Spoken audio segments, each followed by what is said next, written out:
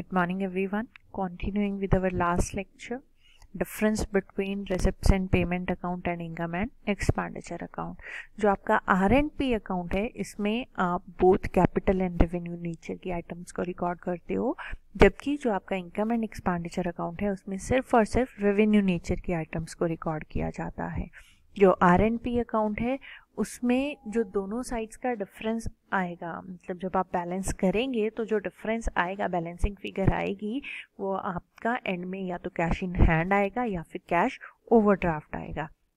जबकि जब आप इनकम एंड एक्सपेंडिचर अकाउंट को बैलेंस करते हैं तो दोनों साइड्स का जो डिफरेंस दिखता है, वो या तो सरप्लस दिखाएगा या फिर डेफिशिएट शो करेगा। देन अगर आप आर एन पी अकाउंट बना रहे हैं रिसिप्ट एंड पेमेंट अकाउंट बना रहे हैं तो आपको बैलेंस शीट प्रिपेयर करने की ज़रूरत नहीं है। जबकि अगर आप इनकम एंड एक्सपेंडिचर अकाउंट बना रहे हैं तो फाइनेंशियल पोजीशन जानने के लिए आपको बैलेंस शीट प्रिपेयर करने की ज़रूरत होती है। जो आपका आर एंड पी अकाउंट है, वो आपका रियल अकाउंट है, और जो आपका इनकम एंड एक्सपेंडिचर अकाउंट है, वो आपका नॉमिनल अकाउंट है।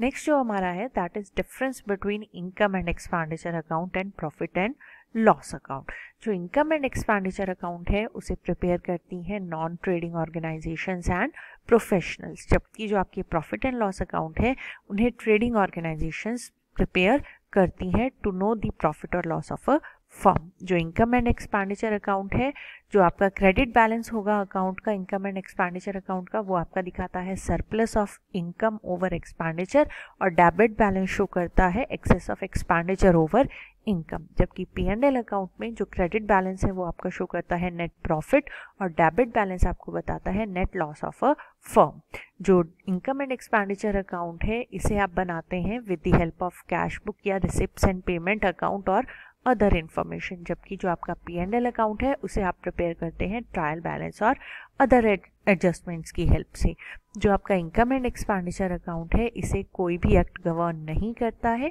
जो आपका पी एंड एल अकाउंट है, ये गवर्न होता है बाय कंपनीज़ एक्ट 2013 और पार्टनरशिप एक्ट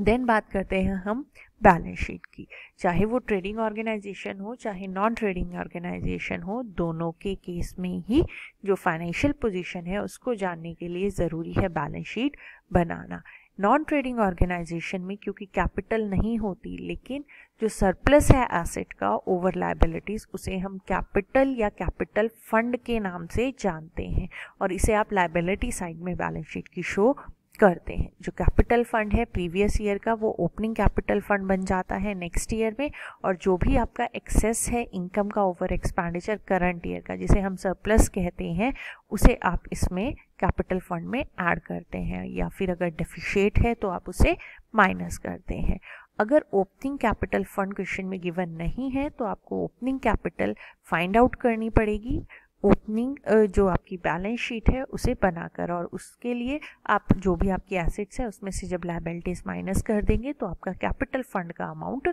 आ जाएगा। इसके अलावा जो आपकी ओपनिंग कैपिटल अदर एसेट्स और लाइबिलिटीज़ है एट द एंड भी वो शो की जाएँगी बैलेंस शीट में।